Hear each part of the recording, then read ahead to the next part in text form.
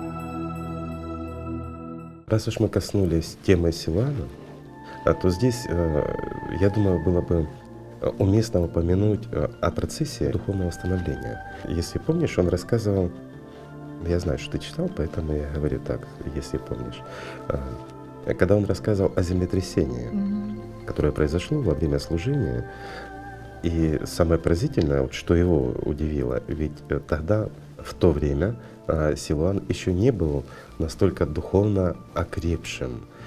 Но его удивило, что братья во время землетрясения, когда действительно происходило, скажем, содрогание здания, в котором они находились, даже камни падали, как он описывает, он испугался, и он начал думать о том, что надо бы выйти, но увидел, что рядом с ним стоял настоятель, который ничуть не изменился, продолжала свою молитву, и братья остались.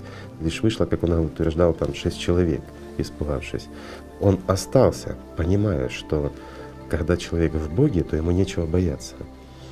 И вот это вот действительно дало ему э, толчок, понимания. Он не зря это описывал. А почему? Потому что он понял, что такое пребывать в Боге и что такое не бояться. Человек, когда находится в состоянии, скажем, общения с миром духовным или с Богом, ну, кому как удобнее, э, то он осознает, что тело бренно, оно все равно может умереть. И он дорожит вот этим даже маленьким, э, пусть даже коротким промежутком общения с миром духовным или же с Богом, да? И он гораздо больше это ценит, чем жизнь материальная. И вот этот важный переломный момент, который произошел у Силуана, он как раз и сделал его тем, кем он в последующем стал. И вот более позднее его описание, если мы коснемся, то интересно, когда он пишет уже о том, что в молитве не должно быть мысли. Не то, что слов, даже мысли не должно быть. То есть нельзя цепляться за что бы то ни было, даже за добрые мысли. Ведь мысль, приходящая во время молитвы, а, а молитва в данном случае для него это уже была духовная практика. Не просто набор слов, которые человек повторяет как мантру в надежде что-то получить, а это уже процесс общения с миром духовным.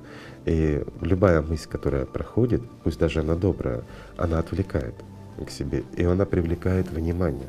А вложение своего внимания оно совершенно правильно усиливает позиции кого сознания. Угу. И мысли начинают уже человека атаковать по-настоящему. И он утрачивает молитву.